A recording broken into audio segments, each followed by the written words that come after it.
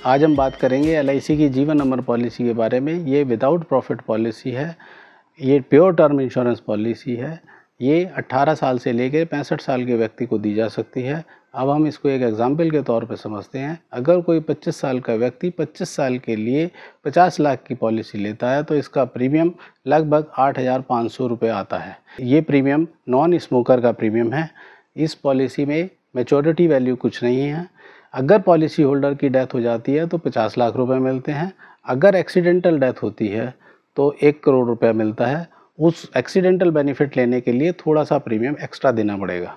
इस पॉलिसी में loan value कुछ नहीं है, सरेंडर वैल्यू कुछ नहीं है और इनकम टैक्स एक्ट 1961 के अंडर में जो प्रीमियम हम देते हैं वो पूरा उस पर रिबेट मिलेगा। धन्यवाद।